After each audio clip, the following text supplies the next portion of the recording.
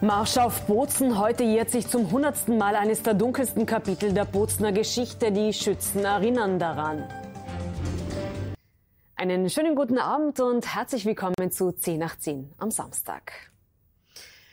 Die Schützenaufmarsch heute Abend in der Landeshauptstadt. Rund 2000 Schützen wollten damit auf den Marsch der Faschisten vor 100 Jahren auf Bozen aufmerksam machen und an eines der dunkelsten Kapitel der Bozener Stadtgeschichte erinnern. Genau heute vor 100 Jahren hatten Faschisten die heutige Dante-Schule im Herzen von Bozen besetzt. Die damalige Kaiserin Elisabeth-Schule war die größte und modernste Schule der Stadt.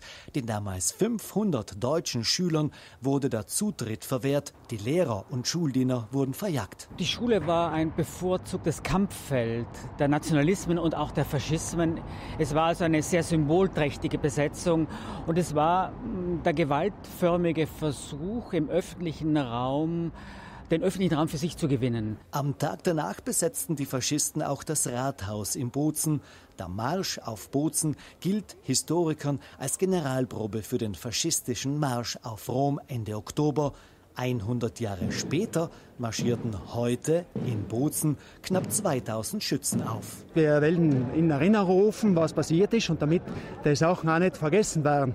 Und unser Ziel ist natürlich, die Wiedergutmachung des historischen Unrechts durch die Wahrheit. Und dadurch kann die sogenannte Kulturnation ein Zeichen demokratischer Reife beweisen. Mit dem Marsch durch die Bozener Innenstadt fordern die Schützen auch die Politik auf, aktiv zu werden, Beispiel Ortsnamensgebung. Auf dem Rathausplatz erinnern die Schützen auch an den letzten deutschen Bürgermeister von Bozen, Julius Berradonau. Ich empfinde den Marsch der Schützen etwas als schräg, weil er ja im, äh, einerseits gegen den Faschismus sich richtet, andererseits für Tirol. Also das ist ja die, das Schlagwort und auch den letzten deutschen Bürgermeister Peratona äh, äh, ins Schild hebt. Äh, es ist aber zugleich auch mm, Ausdruck dessen, dass es keinen etablierten Antifaschismus in Südtirol gibt, denn es müssten andere Kräfte aufstehen und andere Kräfte müssten gegen den Faschismus marschieren und andere Kräfte müssten uns in Erinnerung rufen, dass was vor einer Woche in den Wahlurnen geschah, äh, durchaus bedenkliche Züge trägt. Nein, das ist überhaupt keine Provokation. Wie, wie gesagt, es ist eine reine Gedenkveranstaltung.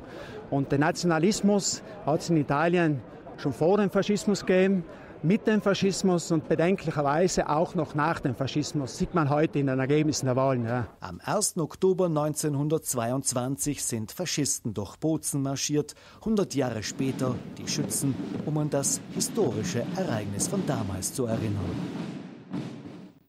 Morgen findet eine Gedenkveranstaltung der Gemeinde Bozen statt. An der Bozener Dante-Schule wird künftig eine Gedenktafel an die gewaltsame Machtergreifung in Bozen und das vorläufige Ende des Parlamentarismus erinnern. Außerdem wird ein Straßenabschnitt nach dem ehemaligen Bozener Bürgermeister Julius Peratona benannt.